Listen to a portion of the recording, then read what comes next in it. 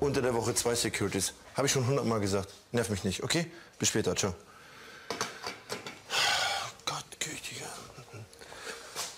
Können wir bitte zu dem Schul fahren? Ich muss mich bei dem Typen entschuldigen. Ich meine, dass ich meine reingehauen habe, war schon blöd genug, aber der Typ ist halt auch noch unschuldig. Ja, lass Lass uns irgendwie einen Teddy für den kaufen. Du hast gesagt, der steht auf so einen Ja. Scheiß. Alles gut? Nee, ich, ich, ich meine, wenn, wenn das nicht der Rüdiger war, wer stalkt mich dann, Mann? Ich meine, mir fällt auch nur Lea ein. Wer sollte sonst sowas tun? Lea sitzt in der Klapse und wird wahrscheinlich äh, den ganzen Tag betreut. Ich weiß es nicht. Vielleicht ist es auch Dennis späte Rache für die ganze Scheiße, weil er sieht, dass wir glücklich sind, dass der Kurze klarkommt, bla bla bla. Dass er denkt, "Mm, jetzt bin ich bockig. Schatz, Was? ich war jahrelang mit Dennis zusammen. Der baut so eine Scheiße nicht. Der hat viel Scheiße gebaut, aber sowas wird er nicht tun. Ja.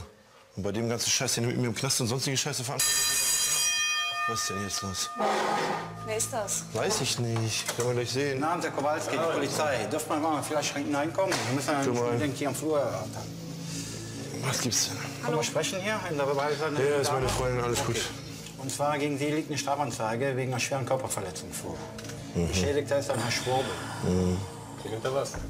Können Sie uns eventuell auf die Diebstahl begleiten? Okay. Geht's Müssen so? nicht- Ja. Geht's so oder mit Handschein? Na, braucht keinen Handschuh. Alles gut. Okay, dann probieren wir's. entspannt. Okay. Darf ich Schuhe? Natürlich, klar. Kann ich mitkommen? Sie können gerne mit dem äh, Privat-Pkw hinterherfahren, wenn Sie möchten. Okay.